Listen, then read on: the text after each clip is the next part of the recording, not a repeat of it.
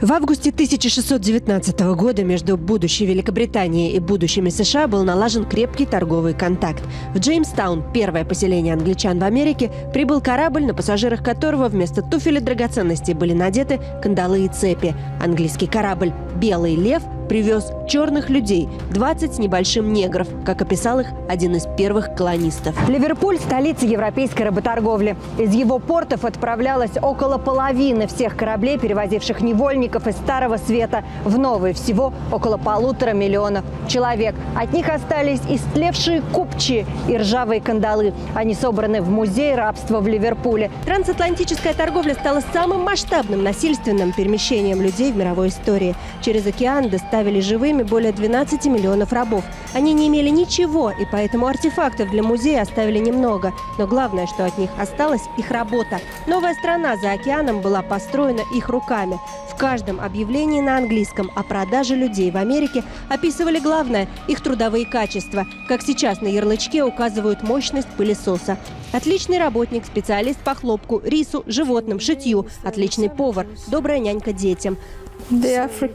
Африканцы не были людьми, их считали дикарями. Их разрешалось даже убивать, и многие забивали своих рабов до смерти. Правда, сколько именно, мы не знаем.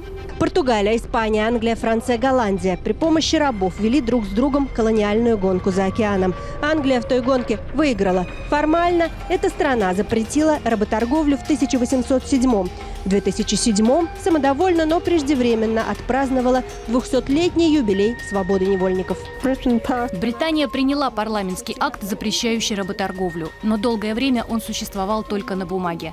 В реальности работорговля, наоборот, увеличилась. Ведь торговцы торопились перевести как можно больше рабов, пока Британия не стала на деле выполнять свое обещание.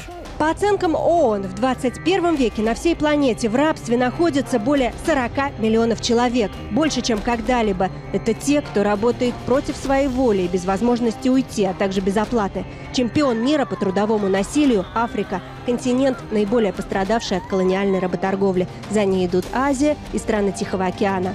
Современных рабов заставляют делать маникюры, строить небоскребы, шить одежду, растить фрукты, ловить рыбу. Женщин и детей вовлекают в проституцию, торговлю наркотиками, терроризм и войну. Современные работорговцы в купе получают до 150 миллиардов долларов ежегодно. Исчезли кандалы, исчезли оковы. То есть людей даже сейчас в таком виде не транспортируют. Максимум это может быть там, завязанные глаза, чтобы не видел, куда едет. А, но сейчас все чаще используют различные сильнодействующие вещества, а, это вот вербовщики. Исчезло и отличие раба по цвету кожи. В современное рабство человек любой расы может попасть по наивности, когда девушкам обещают надежную работу в теплом климате, или от беззащитности, если заставляют работать психически больных людей, сирот, мигрантов, бездомных. Музей рабства в Ливерпуле, как музей искусств, мог бы иметь два отдела – исторический и современный. Потому что дат и вех в истории становления работорговли много, а даты реального ее окончания нет. Лиза Герсон, Борис Халфин, Павел Морозов, Владимир Шарыкин и Екатерина Головченко. Телекомпания НТВ. Великобритания.